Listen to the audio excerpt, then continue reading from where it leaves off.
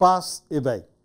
O período do advento prepara para a festa do Natal o tempo de motivar a alegria no coração.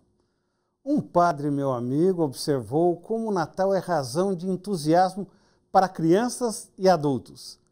Quando Jesus nasceu criança em Belém, atraiu os pastores, foi cercado pelos reis magos e admirado por Ana e por Simeão, os velhos do templo.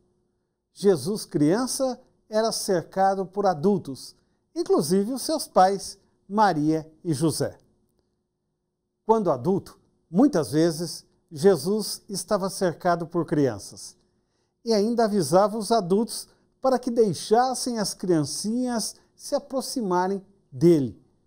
Jesus chamou uma criancinha, colocou a criança no meio dos discípulos e disse: Em verdade vos declaro, se não se tornar como uma criancinha, não vai entrar no reino dos céus.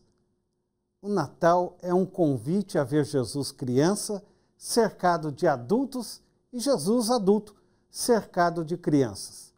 A admiração e a simplicidade, a gratidão e a humildade. É isso que nos ensina o Espírito Santo que Jesus deixou para todos, não só para nos fazer perfeitos nessa vida.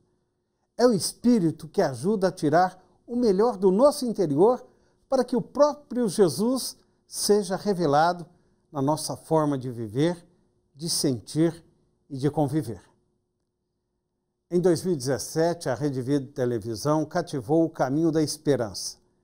Em 2018, a missão foca a alegria confiante na proteção maternal de Fátima, a padroeira da Rede Vida.